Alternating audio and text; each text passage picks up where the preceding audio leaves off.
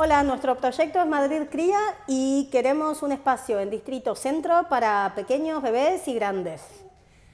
Buenas, pues en Arganzuela consideramos que también es necesario un espacio que podría ser una nave en matadero eh, en la que poder compartir eh, con peques grandes, eh, coworkers y demás.